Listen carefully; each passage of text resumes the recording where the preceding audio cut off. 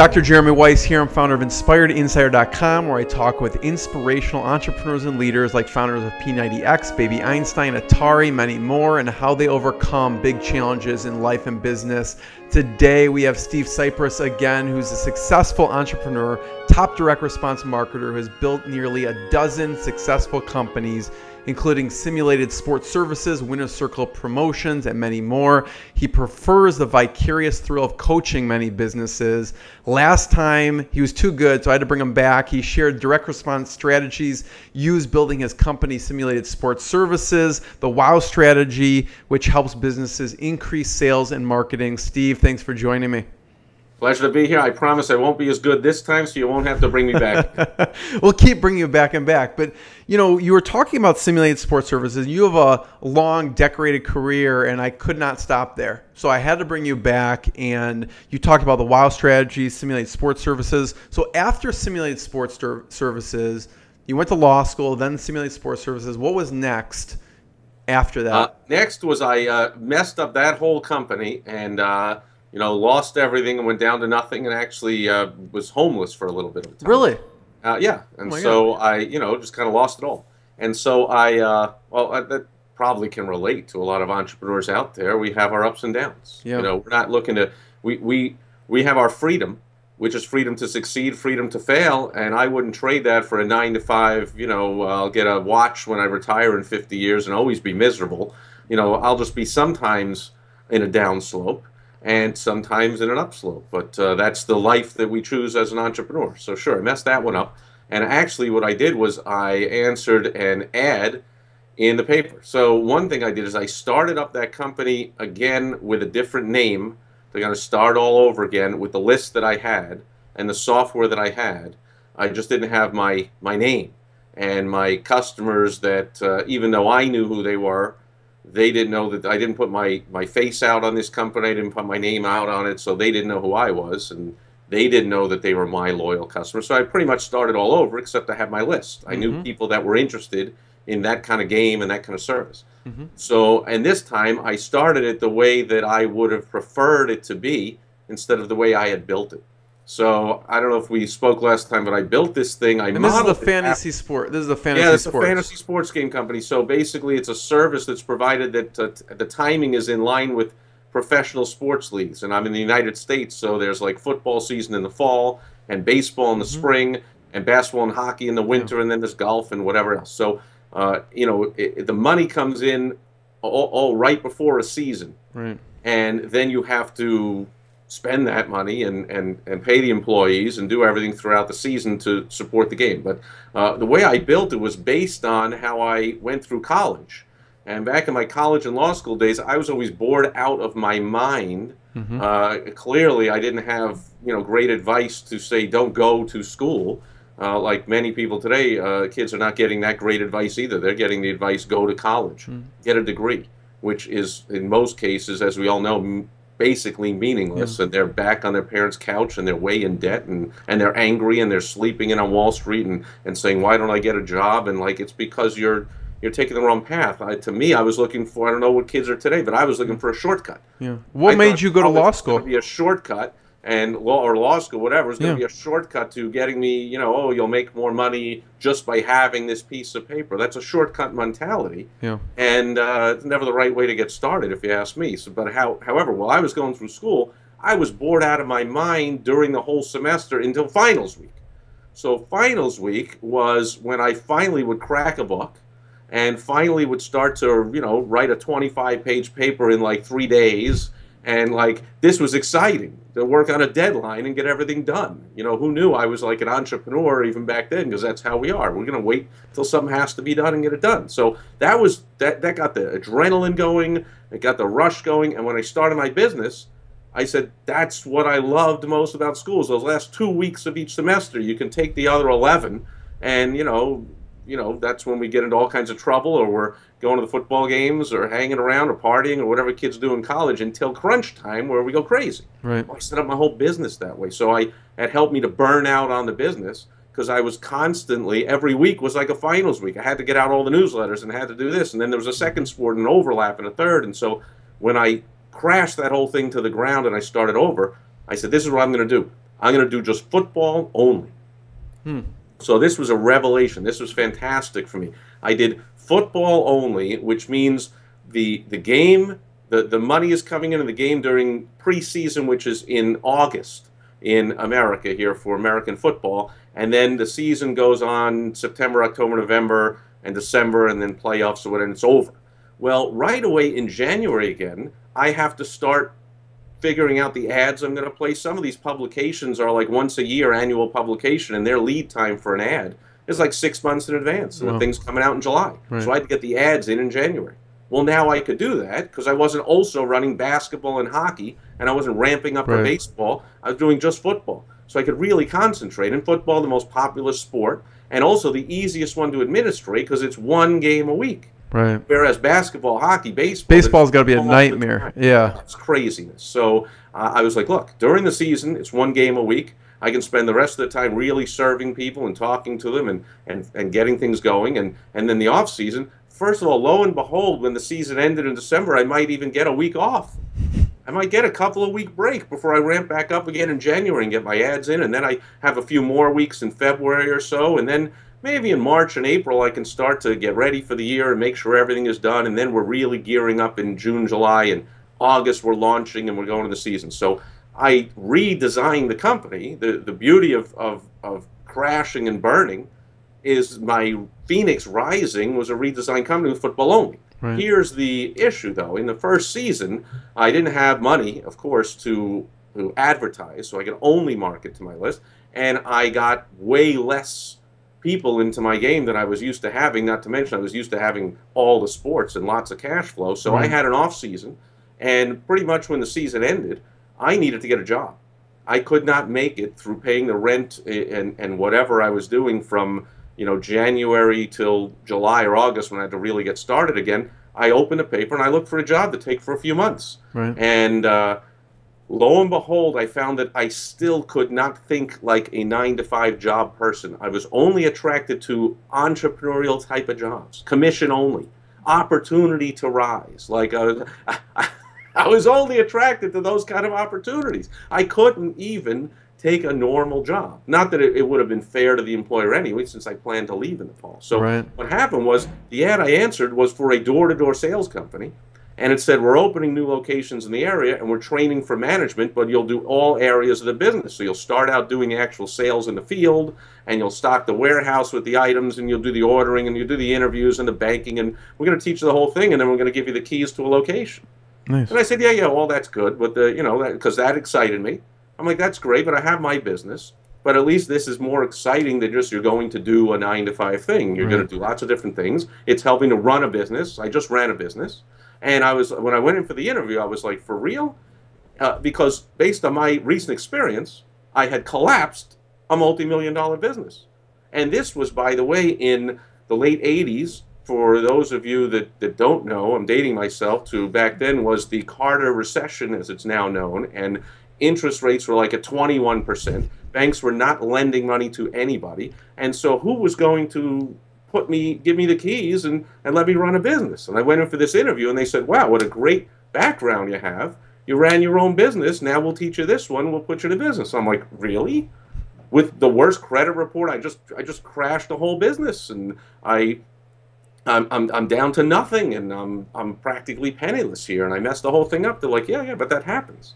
And again, I didn't know anything about about business, and that is what happens: there's ups and downs. Uh, I I do the same thing now when I'm talent scouting, uh, and you'll see on uh, like on a Shark Tank show, or or if you talk to venture capitalists, they don't want anyone who hasn't failed yet in business. Yeah. Because of the lessons you learn. So I didn't know that, but these people were smarter than I was, and which is not saying much. They were very smart, and they said, no, we're we like that because now you know what not to do. Right. Now, flash ahead, I translate that now into my consulting, and I can really spot the danger signs when people yeah. are having trouble in their business, it's heading for a crash, and I've helped many to mm-hmm. fend that off. But back yeah. then, I needed that help myself. Long story short, well, I guess it's already too long, but I, I took that job. What were the sales? what were you selling? Uh, it was uh, a number of different things. They had all different uh, uh, divisions of the company, like seven different divisions. But whatever it was, it was going out and door to door sales. So here I was, you know, law degree, had run a multi-million dollar business, and I'm on the street selling stuff door to door and trying to make 50 bucks a day or 100 bucks a day. Some days zero. Some yeah. days i got robbed of all my money. Like, and now i'm i'm negative for the day because i had to pay for the goods i was selling. I mean whole crazy thing. But the bottom line is i i took this temporarily. So this will be some good training. I'll learn what they think it takes to run a business. Right. and then when i go back in the fall and run my business i'll be that smarter for it and they're going to pay me along the way. Sure. Well what happened was i never went back to my business so after this door-to-door sales after a few months I was like, why would I go back to my business when here they're about to hand me the keys to a location? I'm going to run a business. I'm going to make a six figure income here. I, I enjoy what I'm doing here. I'm good at it. Yeah. And that's basically what happened. I stayed with that door to door sales for nine years. Wow. And that's an industry that people often don't last a week. Uh, many people wouldn't last a day. I mean, uh, that business was more of a recruiting business than anything else. We were constantly placing ads like the one I had answered, and we would interview 50 people a day, and we would narrow it down to a second interview for five or 10 and let them go out in the field and see the sales and spend a day with a manager. And at the end, we'd hire one or two of them. So that's about 10 people a week. And at the end of the week, we might have, you know, two or three left. Right. But that's 100 people a year we're bringing in. So we'll do that over and over and over. And, you know, lo and behold, the training for that was the door to door sales. The fact that most people are saying no and they're saying you're this is stupid and get out and no soliciting. And so that's what happened when we're doing interviews. And they're like what are you crazy? I'm not doing that. That's ridiculous. Get me out of here. So but i did that for nine years. Oh. so that took me all the way up into the 90s and i ended up uh, with that company i moved from division to division. I became a troubleshooter. I was single. And so i took the opportunity to troubleshoot and travel around to other offices I also traveled around each time for myself, learning a new division. I had to go to, I went to Detroit, Michigan for six weeks. I went to Miami for four months. I went to uh, Baltimore, Philadelphia, Scranton, uh, Pennsylvania, all up and down the East Coast, uh, and, and did door to door sales in all these different cities yeah. and helped offices grow. So it was a fantastic experience. And, but then, I did that until the nine years was until uh, I had started my fantasy sports game company in '84. That was about seven years. This thing was about '91 until the year 2000. Yeah, that was the wake up call. Uh, I looked out my window on the Y2K year 2000 New Year's at the fireworks. I was in a hotel in Scranton, Pennsylvania, 40 years old, not married, no kids, no family, not even a home. I'm traveling around six weeks here, a month here, six months there, troubleshooting. And I'm like, what am I doing? what am I doing here? This is good for a kid, but I can't be doing 40 years old. And I'm in Scranton, Pennsylvania, in a hotel watching the fireworks with no family, and life is passing me by. Mm-hmm. And I pretty much just walked out right on the spot. I mean, I went into the manager after that uh, Christmas, New Year's break kind of thing, and I was like, you know, I just got to go. And I left what I was building, the managers I was training, and I just uh, took off and went to the next chapter of my career. But uh, one thing I found out later when I started I learned there there was this such a thing as direct response marketing, and once again here I've been doing it. Yeah. I've been doing direct marketing, right? Take something and do you want it or not? And the deadline is I'm leaving in two minutes out mm-hmm. the door. Like uh, there was an offer, there was a deadline, there was the whole wow strategy right there.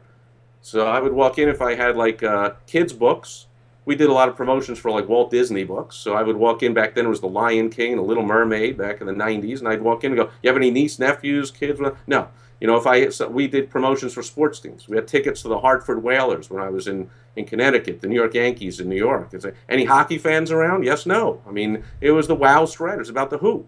And if there wasn't a hockey fan in the office, I'm not going to sit there and go, I got a great deal on hockey tickets. What a waste of time. Right. So I'm like, you know, I'm wearing a Hartford Whalers hat and a suit, but I'm walking in going, hey, I've got a great deal from the Hartford Whalers. Any hockey fans? And the receptionist would go, Mike on the second floor, third cubicle, go see him. Great walk up there, Mike. You know, Mary down there says you're a hockey fan. I got four tickets, uh, buy one get one free, or, or 20 tickets for 10 bucks, or whatever the heck it was. Boom, irresistible offer.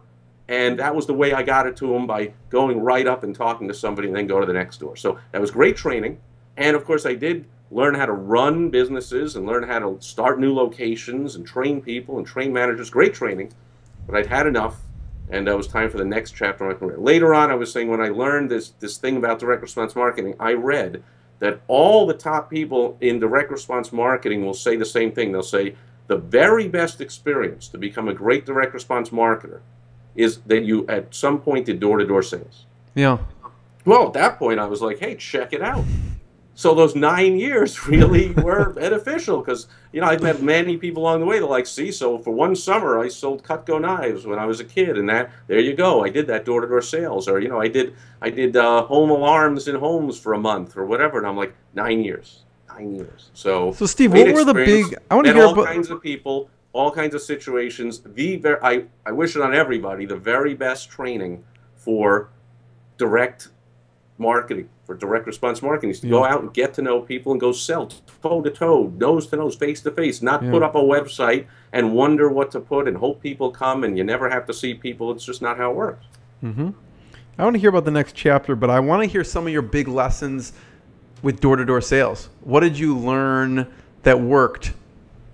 I'll tell you one thing. Uh, right away, what I learned was um, perseverance, stickativity uh, like as soon as I was in, which immediately we would encounter all kinds of just like rain. I mean, one day that it rained, I'm walking around getting rained on. I'm getting doors slammed. I'm having a day again where I, I don't make enough money to even you know chip in for for gas or or eat. And that's when I became homeless. It was within after about a month or so of having of doing that door to door sales. I was so bad at it and couldn't sell and couldn't do anything that I got evicted from a sixty dollar a week shared room in a house with a bathroom down the hall. And come on now, I couldn't even make ten dollars a day.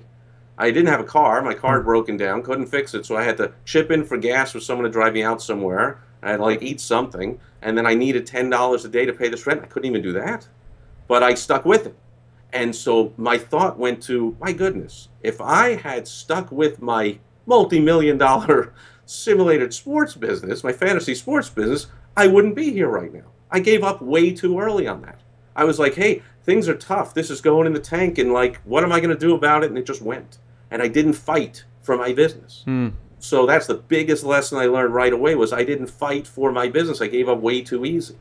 And with this thing, I just didn't give up. Even then, when I became homeless, and now I was sleeping on on somebody's couch over here, and I was uh, uh that that night. I remember. I'll never forget that night. I went back. It was a rainy night and I went back and uh, to the room where I hadn't paid the rent, and the landlord was like, "Look, you got to pay. You got to pay, just like you I think you just see in the movies. Only I experienced it. Like, right. oh, you got to pay, or I'm throwing you out." Well, I went home that night, and all my stuff was outside. Wow. In boxes and hefty bags, and whatever my stuff was out, and I couldn't get in. And it started raining. So I'm like, "What the heck? My stuff is getting rained out, whatever, and I got to go stay somewhere." I remember going to a hospital. There's a hospital nearby. Went in the waiting room I was rudely woken up by somebody like whatever time going, you can't sleep here. Uh, you know, I, I, clearly I wasn't really waiting for anybody, so get out of here. Then I went over, I found a, a Little League baseball diamond, and there was the dugout. And so that was nice. I was on a bench and the dugout. The problem is it was kind of windy and the rain was kind of blowing in sideways, so that mm. was no good. I'm still getting rained on. So I walked along and I remember getting to a college, and this was the summer, college was out, and I actually climbed up the windowsill in the wall to the second floor, climbed in a window, and I slept on a metal box spring with no mattress. Wow. And no electricity. There was no electricity in the whole place. It was all off for the summer. But I had the window shade open, and I got an east-facing room, and that's when the sun came up in the morning. That would wake me up. Then I had to go and get like a mile back to the spot where I was going to get picked up by the guy who would pick me up every day on the way to go into the door-to-door sales. Well, he picked me up. He looked at me. He goes, I was still in the same suit, only getting rained on all night. Probably had, you know, half a growth of beard and whatever it looked like. He's like, what happened to you? And I'm like, whatever, gotta go, another day. Right. Now, I didn't have that attitude when I had a multi-million dollar business. How did I have that attitude when I was a door-to-door salesperson without a penny to my name? Because I saw the opportunity. And this time I, I had people around me so I had the managers and assistant managers all cheering me on. I didn't have that when I was an entrepreneur. Right. You know, I had a coach. Uh, he was a partner of Dan Kennedy for a time. My my number one mentor in direct response. His name was Bill Glazer, and he had a saying: "The entrepreneur is the loneliest person on the planet." And certainly that was me, and it was a big reason my business crashed. If I'd had a coach like I am now, if I had me coaching myself, never would have given up on that on that fantasy sports game business. And who knows? Well, I like where my life is now, but who knows what would have happened. But mm-hmm. I wouldn't have been sleeping in a in a dugout on a baseball field in the rain in a suit. But uh, that was the number one thing I learned was, man, fight for your business. Yeah. Don't give up. What did you Which learn about the? I think every door-to-door salesperson learns anyway because that's a tough gig. Yeah, that's uh, that's wild. Steve. Yeah. Um, that probably does seem like a movie when you think back on that. Yeah, I guess they could make a movie out of my life. You know, Tom Cruise or uh, George Clooney probably for a role to play, and here I am. I look just like. Um, so what did you learn from from selling, like selling wise? You know, because you have to even not only get the person to keep the door open, not slam it in your face, but then actually sell them something. Yeah, pretty much. Uh, you know, and again, that's uh, the genesis of the WOW strategy. I learned it's all about them. Yeah. So if I went in the door with whatever I had, and I started out with like, "This thing is great," and blah blah blah, and they'd be like, if it was a kids thing, like, "I don't have any kids," and I'd be like, "Oh yeah, right. What did I just do?" Or I'm not a hockey fan. So it doesn't matter that I have free tickets to the Hartford Whalers. I mean, so I, I make the analogy like, what kind? What's your favorite flavor of ice cream, Jeremy? Um, chocolate chip cookie dough. I like. Okay, very nice. What flavor do you just not like?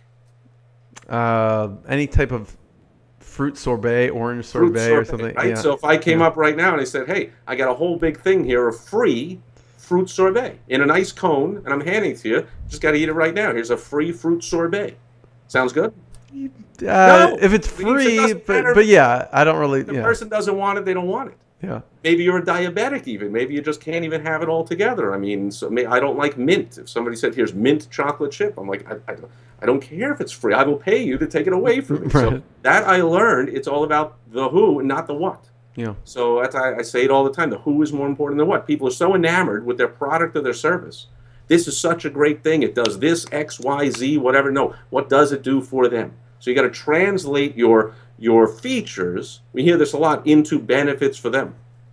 And so that's what I learned in that door-to-door sales is it's all about the who, and it's not about. I mean, I had a, a Walt Disney book, uh, a big oversized Lion King book that kids loved if they loved the Lion King, and it was uh, like said right on it forty dollars, and we were selling it for five bucks.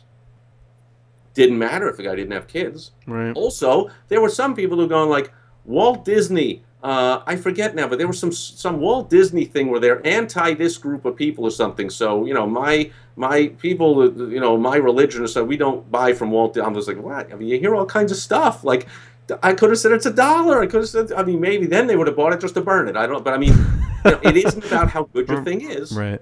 It's about finding the person who might want it, and then yeah. an irresistible offer. Now it's a full. You know, so now let's say we find the right person. I walk in and there's Mary at the reception desk of an office She's got six nieces and nephews. She just happens to go see that weekend. And I walk in with Lion King books, a Little Mermaid, something, $40 books for five bucks. I'm her dream. I just solved that problem she had. She was going to have to leave work early, go to the store, wonder what to get, spend a hundred bucks, and maybe get something. Now she hmm. can drop 20 bucks and get four of these things. So you find the right person, you make an irresistible offer, and they'll buy. And so the door to door sales, it wasn't really sales. Salespeople, in fact, I would be interviewing salespeople. They go, "This isn't sales," and I go, "You're right. It isn't sales. I'm not convincing anyone. I'm not overcoming object. I'm not saying, oh, they're going. Uh, uh, let's say uh, I don't have any nieces and nephews. Well, do you have any friends that have nieces or nephews, or why don't you save it in case you have one one day? I mean, what are you kidding? I didn't overcome any objections. Right. They objected. I'm like, have a nice day. I'll be back next week with something different. Right. Next week I'll have a calculator. Next week I'll have a pair of socks. The next week I'll have a book, a cookbook. Uh, you know, when I was doing, they had a whole books division. I'd have a cookbook. I'd have a golf instruction book one week. I'd have a kids book another week. I'll be back. Like, and it's all about them. Is it something they would want? Yeah. Well, that translates into everyone's business. You're a chiropractor, right?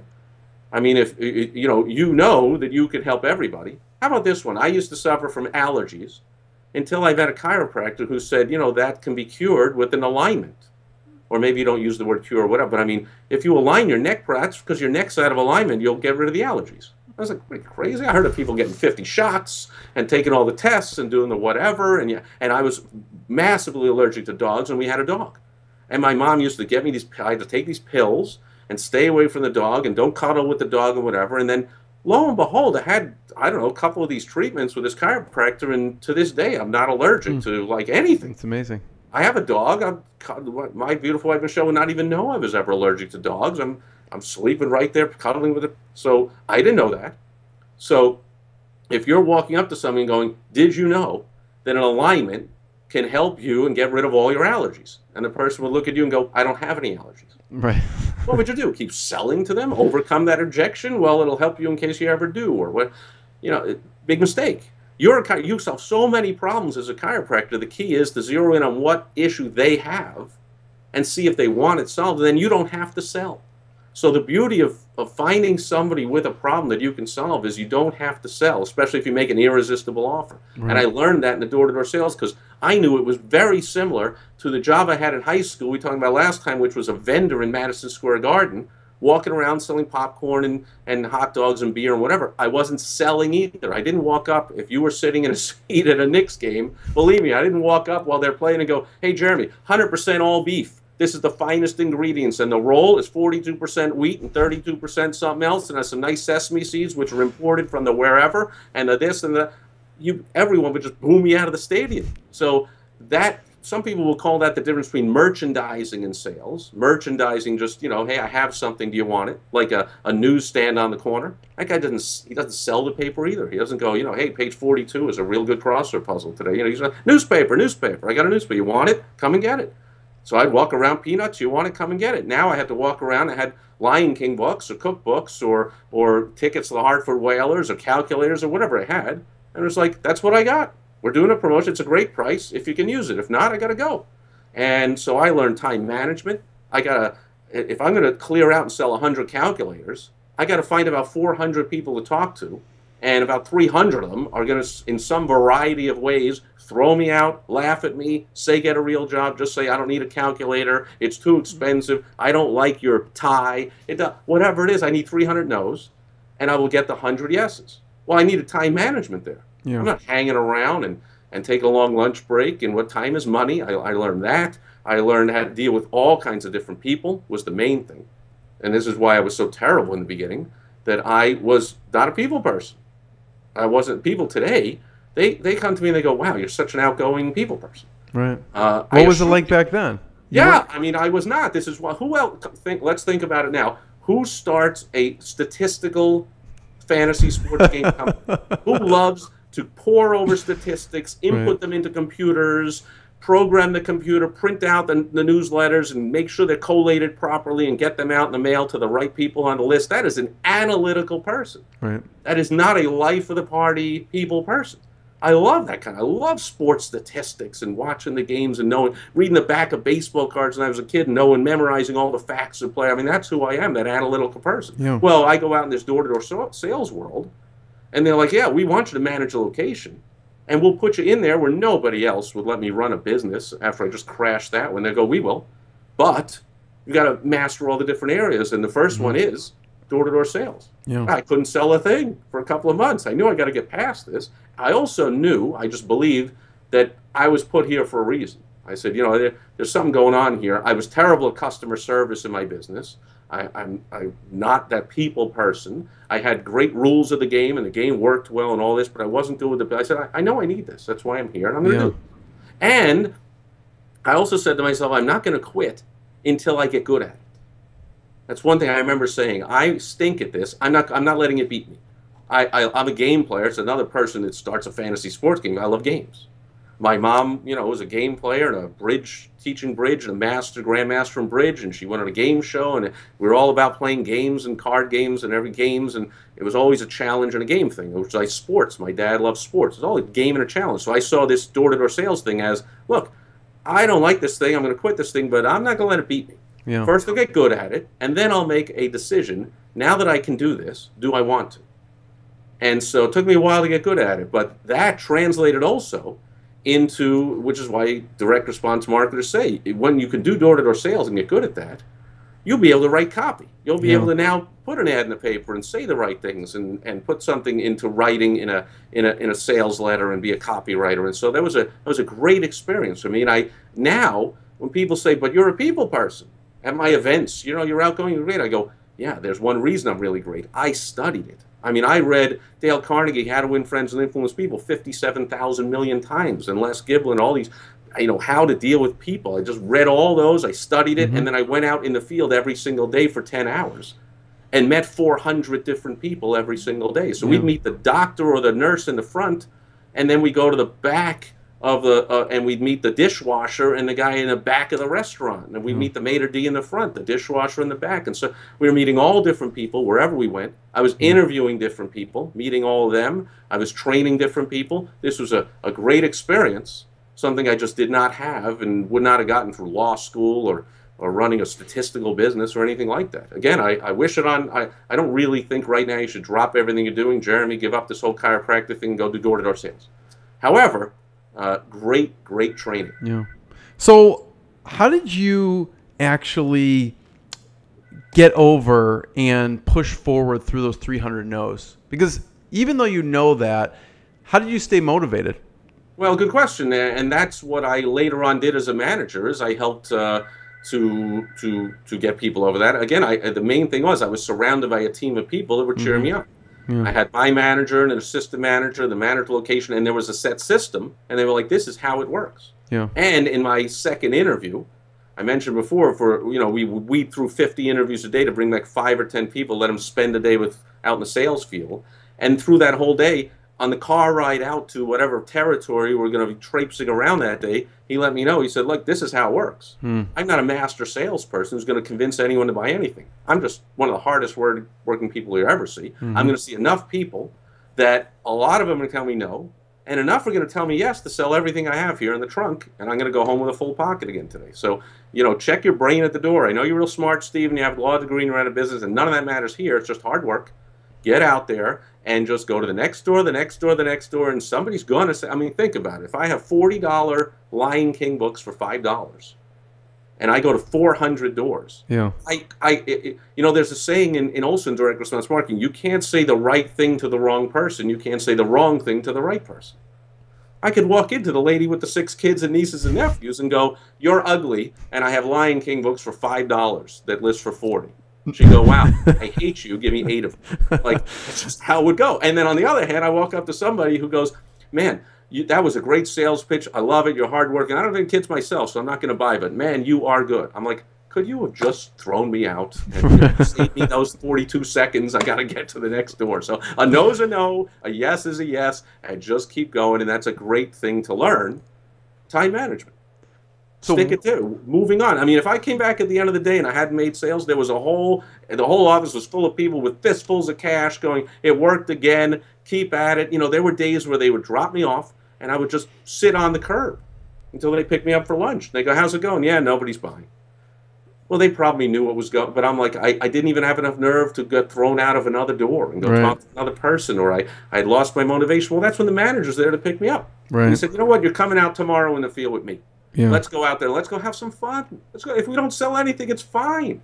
And I was like, what are you talking about? We have to sell after eat. He said, you know, that's what I learned. It's the same in running your business. If you're not enjoying, if you don't get up every day, Jeremy, and come to your chiropractic and enjoy it, you really ought to be doing something else. Right. The money will come if you show and you enjoy it. People are coming up to see you, and hopefully you're not Mr. Grump coming out of the back going, oh, I got to you know, fix your back again. Oh, another person with a back thing. What? Hopefully that isn't you. Right. So if that was me in the door-to-door sales, it wasn't working, and it was a manager would grab me, somebody else in the office would grab me, and having that camaraderie. So this yeah. is why later on, when I became a coach and a consultant in business, I always had group coaching.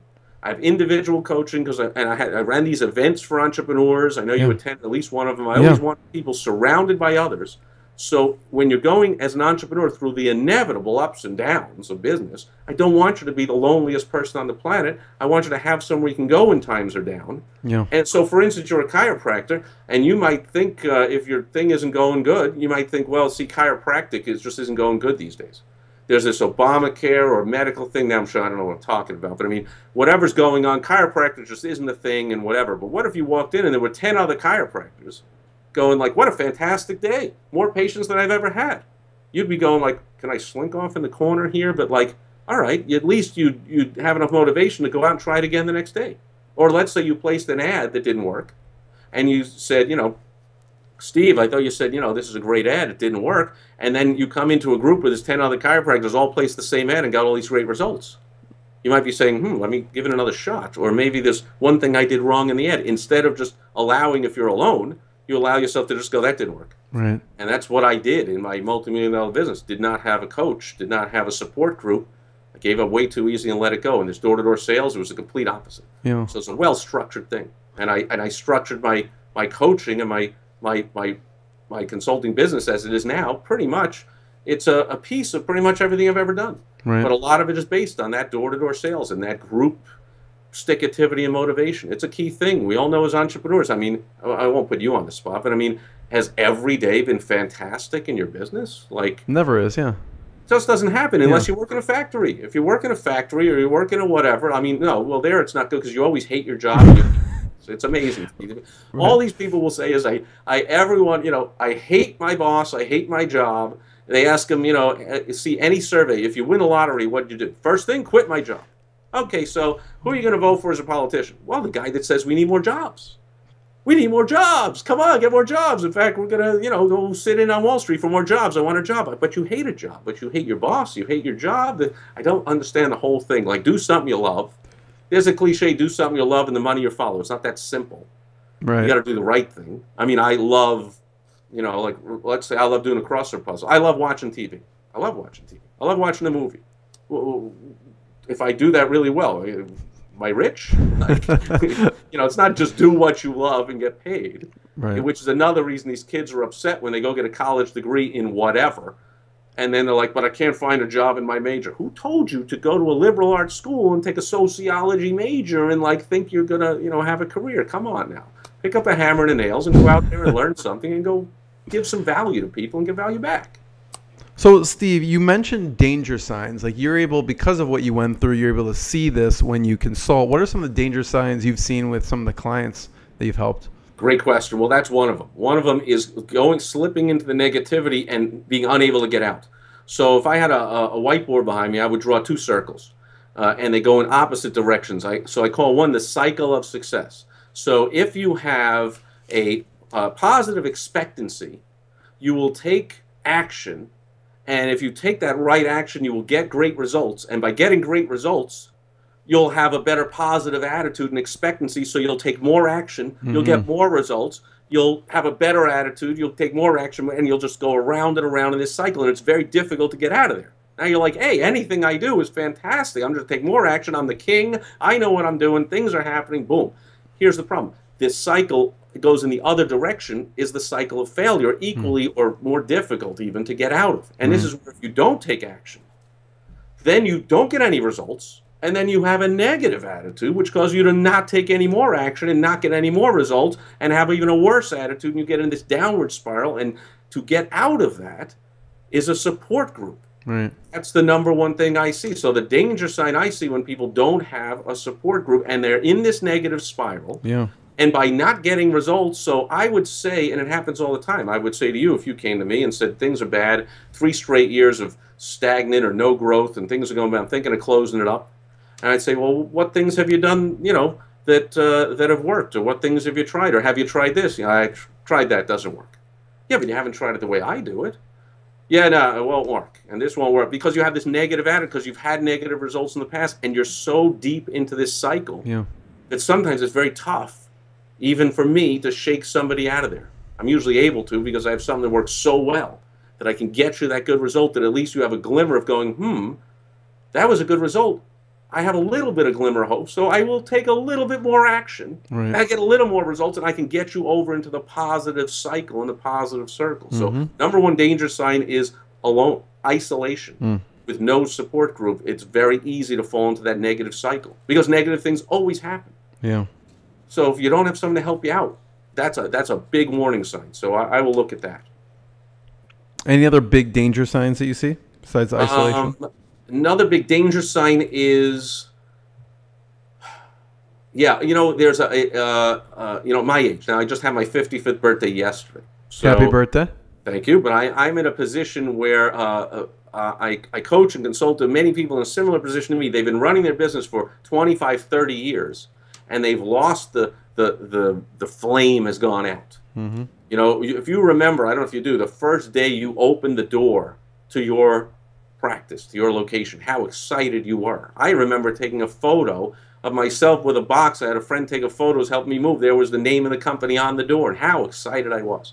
But then later on, as I talk to people, and they'll come to me, I'll say, "What are your goals?"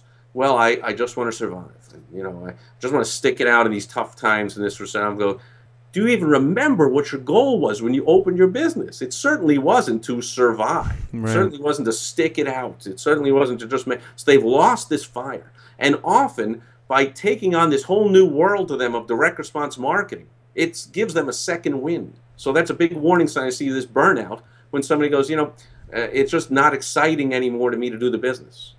I'm like, well, then maybe we should be doing something else. But before you do that, why don't we decide that we're in a different business? So you would decide, I'm no longer in the in the business of being a chiropractor. I'm in the business of marketing a chiropractic practice. Mm-hmm. Well, it's a whole new world now, right? Because how many hours do you really need to spend to continue to be an excellent chiropractor. Sure, you got to keep up on the latest machines or this or that and go to the, you know, get your credits and do whatever, but you're an expert and you do not have to spend lots of hours on it. So maybe you got some time to now delve in and start to become an expert in direct response marketing. Right.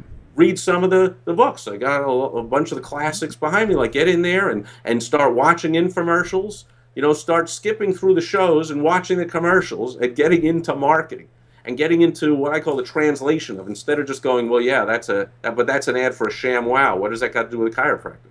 But instead, get into like, hey, ShamWow, they're selling a lot of that ridiculous one piece of cloth for 20 bucks. How are they doing that? Maybe there's something in there that I can use in my chiropractic. Right. You know, I'm probably not going to stand there and be obnoxious and say we can't do this all day and talk on a headset.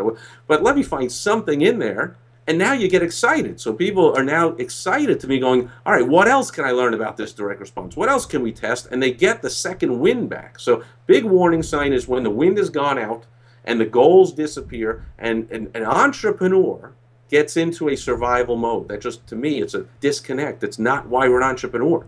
You know, people come to America and very often, I think I saw something, although I don't know how they track it, but it said something like 40% of the Fortune 500 companies were started by immigrants. Hmm. Like yeah. Americans, in my and anecdotally in my experience, and I have met a lot of Americans doing door-to-door sales all over the country. Like the person born in America, I don't want to use this. It's it's it's a cliche to use this word feeling of entitlement, but they're they're born in America and they want things like a good union job, and I want a good pension, and I want a good salary and a guaranteed benefits, and I want. But people come from other countries; they're just happy to be here. They don't need a, they, they want an opportunity. In fact, they'll sweep the floors and, and clean the toilet and do whatever they have to do so that 10 years later they can be running that restaurant or running that business. That's what they want. And then they'll start another and another. So again, a cliche, but I, I saw certainly walked into enough, at least anecdotally, in my door-to-door sales business. But a motel or a convenience store were almost almost almost always owned by an immigrant who is willing to work a ridiculous number of hours. Right. If I pull up to that motel and it's three in the morning, that person comes out from their bedroom and goes, "You rang the bell.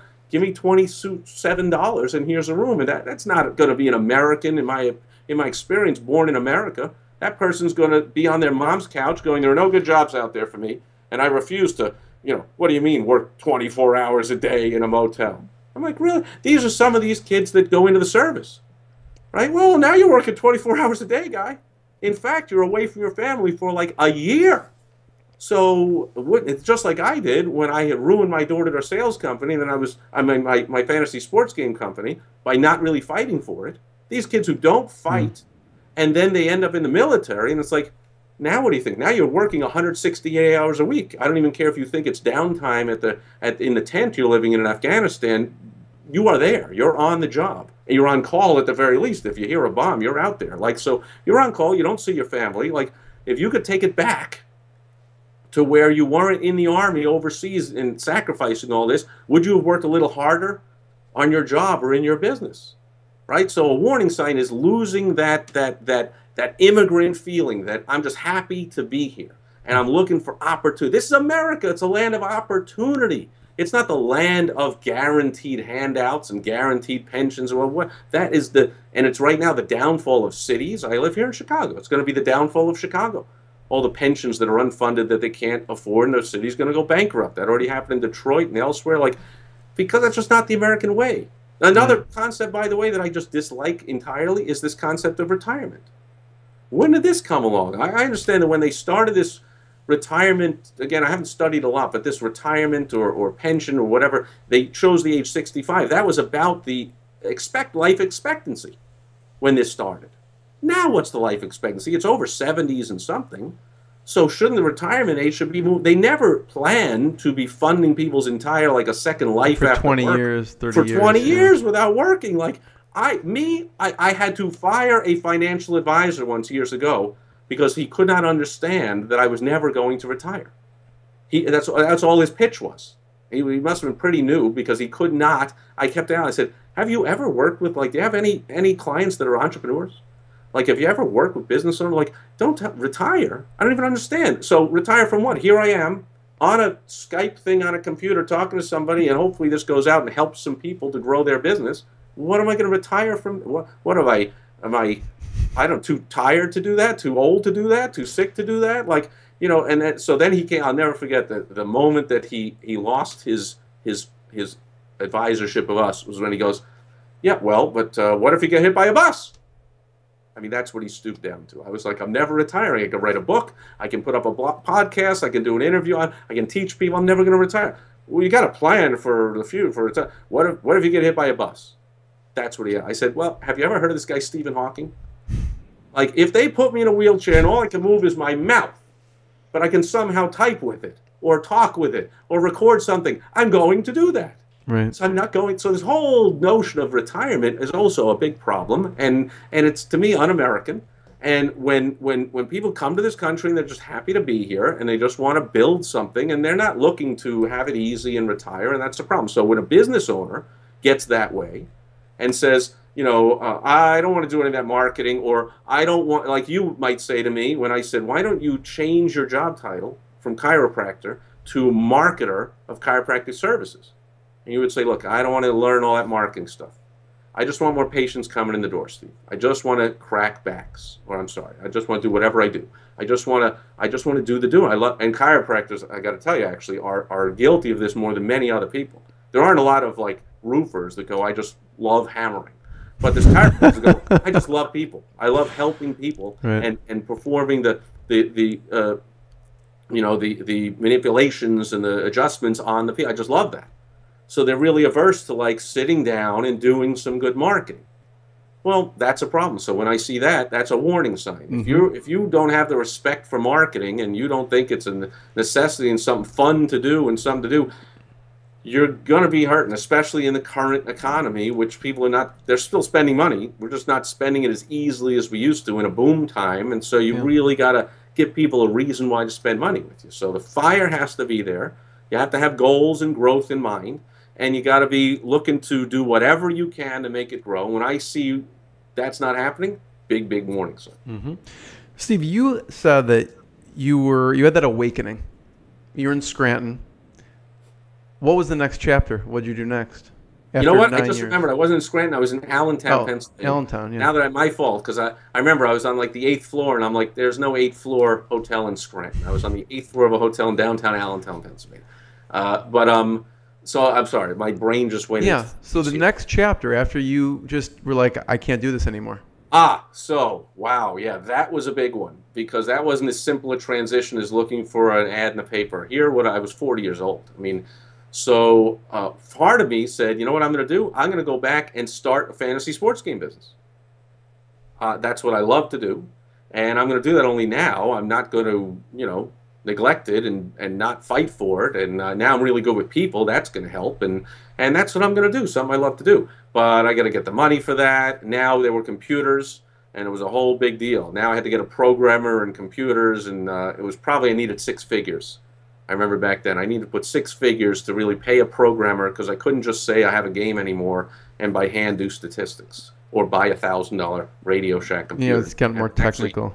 yeah, I had to get people where they can go on the internet and do their thing. So I knew I needed like six figures. So what am I going to do? And what I did there was I spent about six months or so liquidating everything I had in warehouses Hmm. around the around the East Coast mostly. So I would have you know however many items over here and over here. And back then I had found eBay, which was pretty much new.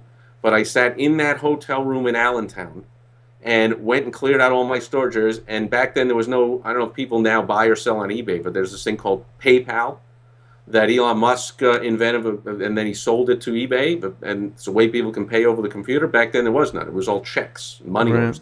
So I had this whole apartment with three piles of stuff. Here's the stuff that I got to like write the, the, the descriptions for and take the photos and put it up. Here's the stuff that's already up there and waiting to be sold.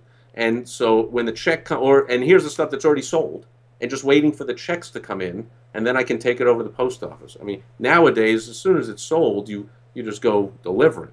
I mean, people even do drop shipping. But I mean, this the whole apartment is taken over with a bunch of garbage. I mean, just a whole bunch of stuff. I'm selling every, but I'm not just selling all the stuff I had in warehouses. I'm selling all my books, all my Zig Ziglar tapes that had gotten me through all those tough times in my car where I didn't want to get out of the car and go sell, and all the all the books and all the everything. And I'm just liquidating everything. And all I had to do was sell about two thousand dollars a month worth, and I could pay the rent and eat.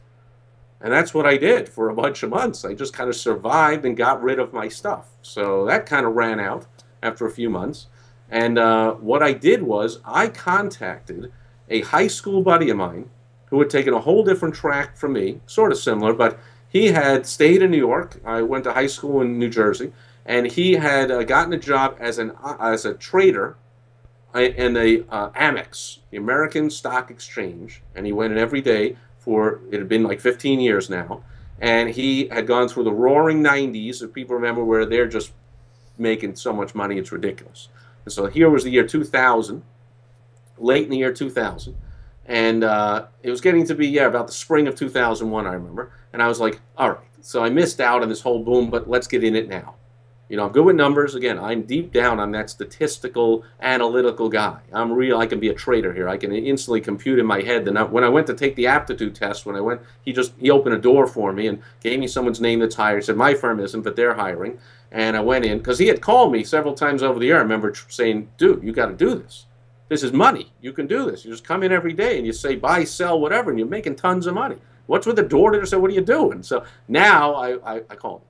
He opened a door and uh, and uh, when I took the test, they were like, "Wow, no, almost nobody scored as high on this aptitude test," and and and that's incredible. Like I was that fast with the numbers and and and this computation. So here I was going to be a trader. Well, what happened is this company was um, they they were trading on the Amex, but they were located in Chicago, where there was the Chicago Board of Options, the the CBOE it's called, the Chicago Board of Options Exchange or whatever, and that was the center of the firm that had that also had their traders in New York. So they sent me to Chicago for six months of trading. That's when I came to Chicago. Mm. So I came to Chicago in uh, about April 2001 for a six-month training program, and then I was going to be on the floor. Well, I was on the floor, but then I was going to have my own. You know, they hand you millions of dollars to trade with. Hmm. They're not just going to hand it to you till they trade you. But that's what my friend Mike was always telling me. He goes, look, they, they give you the money to trade, and they teach you because you, they have like 15 or 20 different pits that each have like 10 stocks around them on all the TV screens. You got to watch them all. They have a system that works. This is how we described it, which is how it is. The system works. He can't be in every pit at once, so he hires traders, puts money in their account, teaches you his system, and when you prove to him you can do it, he puts you into a pit. And you profit, you make money, and you pay him a share, and you keep a share, and you make a ton of money. And like this is entrepreneurial. You make more, you make, you work you're you're on your own working, and the more you make, the more you keep, and you got to be good with the numbers, and you're hanging around. And I was like, this is exciting. It's a game. It's, I, I remember the first time I walked into the stock exchange. I was like, it's like walking in. I don't know if anyone remembers the first time you walked in a casino, and the slot machines are going, and the action, and the lights, and so some people they're like, whoa. But to me, it's like this is exciting. Right. So came to Chicago April 2011 kind of from telling you that date and telling you it's a six month trading period might set off some light bulbs now in people's minds about what happened as I got towards the end of that trading period right. and how it kind of never ended. Because about a month before I was going to end the trading came this little thing we now know as September 11th, 2001.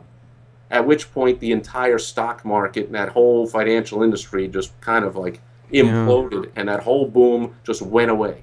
So I got in on the fantastically, absolutely worst timing, wrong time to get into this industry. And my firm was not continuing to train me or anyone else. They were getting rid of people left and right, and they went down from 100 people to six or whatever, you know. And then how am I going to get a job with another firm? They're all getting rid of people, and the whole thing is collapsing and whatever. And so there I was. Now I was in Chicago, and I was out of a job. So I could go back to New York.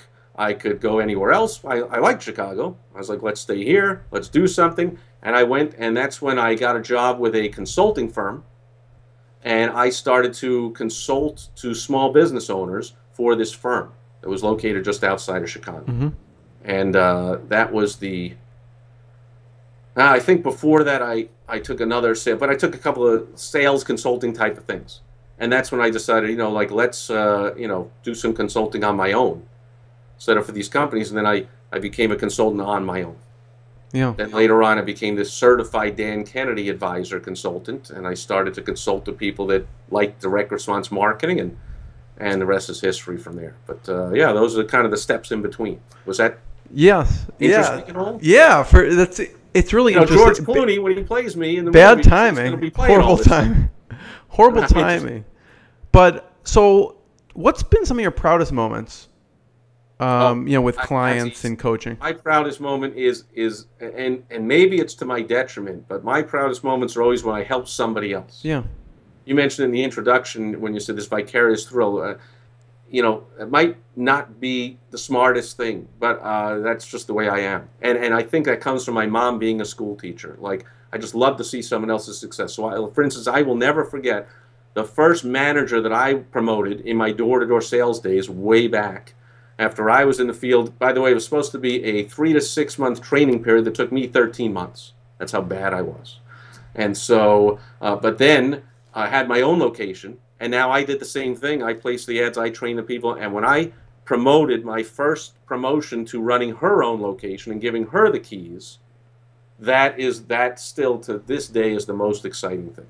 Uh, that because it was one thing for me to do it but to help her go through the ups and downs, and she was married and her husband was always barking at her, What are you doing? This is crazy. And being a woman was extra tough doing the door to door sales and, and no respect from the guys in the office and the people in the field. And, the, and, and that was a big thrill for me to help somebody else go from answering that ad to getting their own business. Yeah. And so now that's what I do now, my consulting business. Watching somebody who came to me struggling, wondering what to do giving them some strategies and concepts and watching them and helping them along the way to implement it. And then they have massive success. That I love more than anything. Yeah. That's my favorite thing. Yeah. Steve, so what's one of your favorite success stories from consulting the small businesses? Um, did I mention this one? I know last I don't remember which ones because I, you know, I'll tend to tell the same story. I guess maybe it's like, you know, comedian will tell the same jokes over and over, but I'll tell the same stories. Did I tell the one about the the the group of lawyers that were doing the uh, IRS. Is that tax defenders? Yeah, yeah, yeah. Yeah, t- talk about that. Go into detail because you you mentioned briefly about it, but tell yeah, tell me what you did with them and what worked. So I didn't think I used their name because they're still around today. Oh. But um, this was one I had gone to. I don't remember the exact timing, but it was pretty much right after the collapse of the the 9/11 and the whole stock market thing collapsed. Mm. I think I I answered an ad and they said, you know, we're getting, the ad said too many leads. said, we have too many leads coming in. We can't close them into sales. We need someone who can close them into sales. I'm like, I know I can do that. So let's go in there. And I helped, this business was, a, a, a you know, a part-time attorney and one part-time, one salesperson who was really, she was someone they knew who had been in HR. So they thought she's good with people. She'll do the sales. She was terrible at the sales. The attorney couldn't do the sales either. And I came in and I put together a whole sales process in place, a whole script, if you will, put the whole thing together. And then I started hiring and training other salespeople and built a team. And I got the thing up to, I think we had, uh, I was there for nine months and we went from that one part time employee to 17 full time employees, was bringing in, you know, a million dollars. I forget what it was bringing in, but it also retired the, the part time attorney, now became full time inside the company, which mm. was his dream he went from you know just working nights in this thing and trying to get it going to he could leave a six figure you know thing in a big law firm in Chicago and come over and do this and had other people working helping and then all the people were helping with their IRS problems many of which most of which were small business owners. Because I don't know if you or any other small business out there that are watching but a lot of us get in trouble with uh, the withholding is the biggest thing the IRS gets small business owners in trouble with. If they're having trouble in their business they might kind of dip into that fund for the from the withholding of people's paychecks. IRS worst thing. They do not like that. It's not even like paying your taxes. This is stealing from the IRS. You withheld the IRS's money from their paycheck, and you've got to give it back to the IRS every quarter. And if you don't, they yeah. really come down harder. So we were we were helping a lot of small business owners, which is my wheel. I just love doing it. And so uh, that's what I did with the with this uh, this company, which at one point I learned a, a, big lesson here is where the guy who was uh, doing the marketing and getting the leads, at, once I got the hang of this sales thing, and I had it down. It took a few weeks of you know stumbling and bumbling, and I, I landed. This is what I'm going to say and do. Uh, he said, you know, can I sit next to you for a couple of days? I'm just take notes and listen to everything you say. We're recording the calls, and I was like, yeah, sure. Well, you know have a have a blast. What is exciting? This is you know it is to me. It's interesting. Well, what he did, he he told me later. He said that's how I wrote our new sales letter.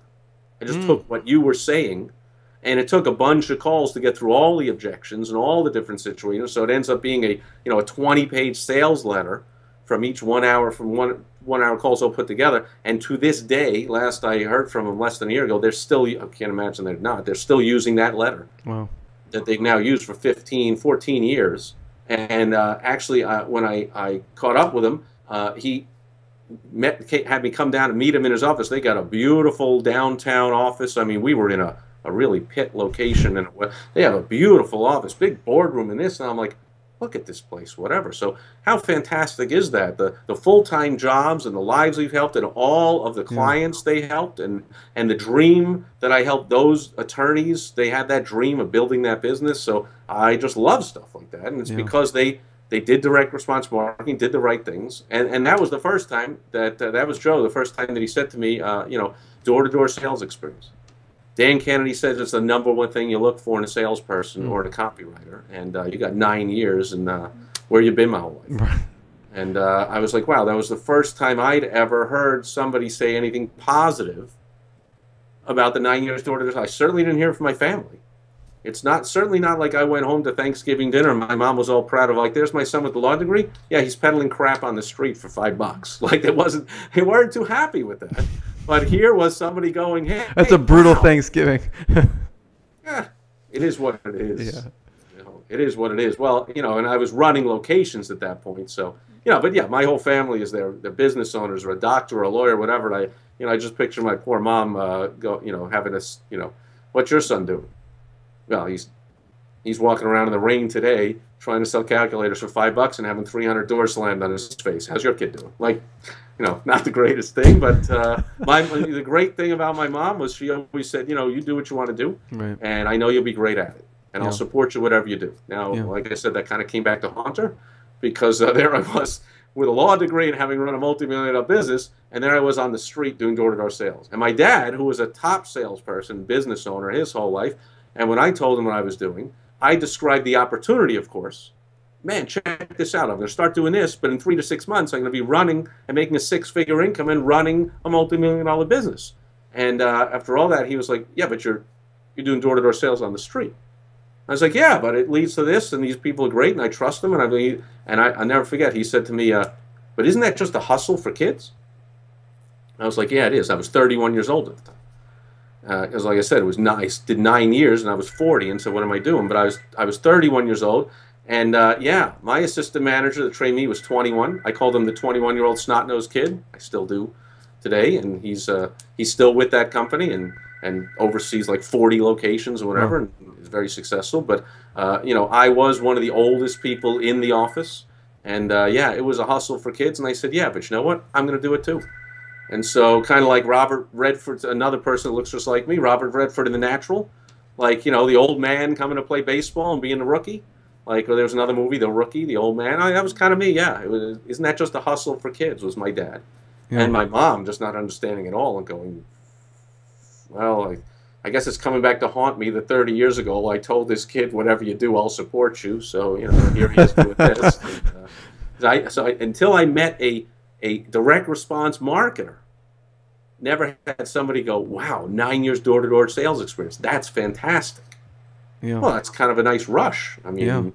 uh, I certainly didn't get that when I was knocking on those doors. Steve, I have one last question. I appreciate your time. Before I ask it, where can we point people towards to find out more about you, to check out uh, all your, your great stuff? Oh, I appreciate that. I mean, I can go to my site. It's just my name, stevesipress.com. I don't know if you put it up there on the screen or below somewhere. I will put it up there, yeah. S I P R E S S, or they can go to thewowstrategy.com. Yeah, I'll put it up there. My last question is I know you mentioned one of your, you know, the mentors that influenced you is Bill Glazer. and I was wondering what was a big lesson you learned from from Bill. Yeah, the greatest thing I learned from Bill was Bill is a third generation retail store owner. His grandfather started a retail store, and then his father took it over, and then he did. So I can only imagine that almost from birth, he was in that store all the time. Right. He was sweeping floors. He was helping with inventory. He was putting price tags on things. You know, so he was working seven days a week, twenty hour. I mean, that's what retail. Come on, that's what we do. And then he found this direct response marketing, and he started using it in his retail store. But then eventually he took that under the the suggestion of Dan Kennedy, his and my mentor. And Dan said, "Your stuff is so good, you ought to sell it to other menswear store owners." And then he started selling it to other general retailers. And then he became Dan's partner and started teaching all of us business owners of all kinds. So here, here's someone who came from the hard work and, and, and running a business, really right there down and dirty, to helping a lot of people. And he did it by, by getting good at something and then teaching others what you do. So what, what I really can't stand is the whole ivory tower of people teaching things that they've never done themselves yeah. or they aren't fantastic at. So, you know, we mentioned I went to law school. And we used to say in law school, uh, when we had our, our class in corporate law, for instance, the guy was teaching corporate law. And he was making, now this is the 80s, he was making 40, 50, 60,000 a year, whatever. Corporate lawyers are making three, 400,000. Now they make a million. But back then they were making a few hundred thousand. We're like, so this guy by definition could not have been a good corporate lawyer. He wouldn't be here. And yeah. in fact, there was that. I didn't care that much, but people would say stuff like, "Oh, I looked him up. You know, he couldn't get a job at the top firms, or he whatever. He's not. You know." And that's how, kind of how it is through school. It's like people are teaching that don't know what they're talking about. Right now, I'm sorry, I'm not a, a political guy, but we have a guy, a president, running a company who has never run a business. He never really run any. So he, so it's no wonder the he has no idea what to do with the economy. Now, on the other hand, we have like now it's an election campaign, so you have someone like Donald Trump or Carly Fiorina goes, "Well, I know how to run a business." Well, who knows what they would do with with you know nominating Supreme Court justices, like unrest in the streets or, or foreign countries. So you know, is the presidency like too big for one person? But anyway, I mean, it, it's terrible to watch mm-hmm. politicians. I'm um, here in Chicago. It's the same thing. They're running the city and they're running it into the ground and they're they're and, and colleges are filled with professors that are teaching kids that are going to go out in the real world and don't know how to run a business and build a business and be successful in the real world. And so I, I just can't stand all that stuff. Right. So one thing I love about Bill is he came from being a a member of, of uh, a student of Dan Kennedy, just like me. Then he became Dan Kennedy's partner. Well, how cool is that? Yeah. So that's to me, there's there's the the the goal. To me, also, I love that as a mentor. I love that. I love for someone who, and I've done that with a couple of my clients. They've come to me as a member of my group, and then they become a member of my advanced coaching group, and then maybe a private client. And then I've partnered with them in a business. Now they've reached a level where we can partner together in a business. So Bill did that with Dan Kennedy, and I was like, that's the way to do it. Get really good at something, teach lots of other people, partner with your mentor so you're not your mentor Dan Kennedy just didn't get anyone off the street and go be my partner.